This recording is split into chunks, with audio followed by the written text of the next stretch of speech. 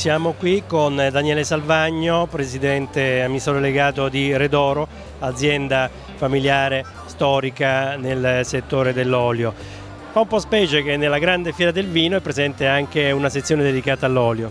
Sì, è da molti anni che Vinitali predilige anche questa piccola nicchia di mercato che è l'olio d'oliva e che va di pari passo veramente con eh, le grandi scelte eh, veramente economiche e strutturali. Noi vediamo che l'olio deve diventare come è stato il vino negli ultimi vent'anni, quindi una selezione non solo di extravergine ma bensì di denominazione d'origine, di ricercatezza, di qualità a, veramente allo stato puro. Noi partiamo dal presupposto di avere il 100% italiano, ma nel 100% italiano abbiamo il biologico, abbiamo il DOP, l'IGP. L'Italia ha un bacino di utenza bellissimo, ogni regione ha un suo olio, una sua caratteristica e qui a Vinitali c'è un'esposizione direi internazionale di oli. Ecco, e poi in Italia grandi e piccoli stanno facendo un po' sistema.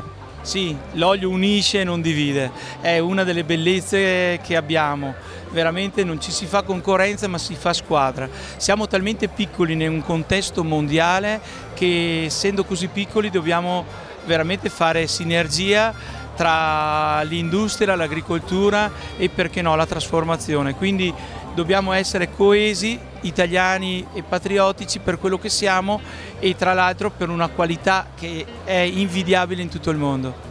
Parliamo della produzione italiana, ci sono stati due anni pesanti di siccità, come è andata quest'anno?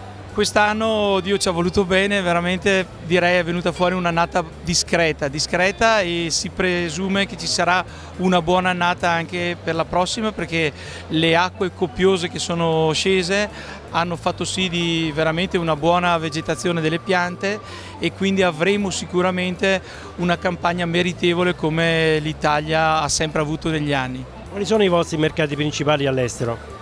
Beh, il Giappone per eccellenza, l'America e noi per l'America veramente è l'americano è schietto, vuole l'olio vero vuole, e quindi sempre più non vuole mezze misure ma vuole, vuole sapere della famiglia, vuole sapere dell'azienda, vuole sapere del brand ambassador, vuole dire io mi fido di Redoro e quindi scelgo la tua bottiglia perché so cosa c'hai dentro. E poi l'italianità è fondamentale.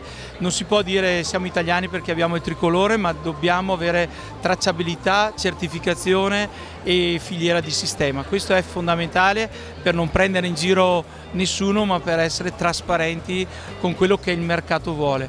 I Giapponi insegnano, il Giappone veramente sono la nicchia della nicchia ma il mercato americano soprattutto del nord è esigentissimo